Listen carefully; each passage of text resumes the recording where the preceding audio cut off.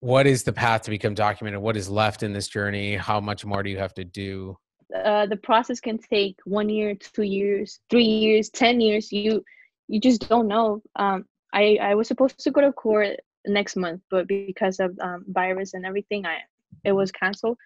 So now I don't I don't really I don't really know when my when when my next court is and um well the next time I go they can be like oh it's denied it's accepted or they can be like oh come back in two years and you you just don't don't really know when it's gonna end.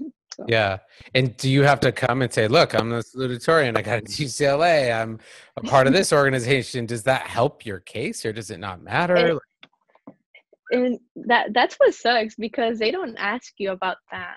They, they just they don't even take it like into consideration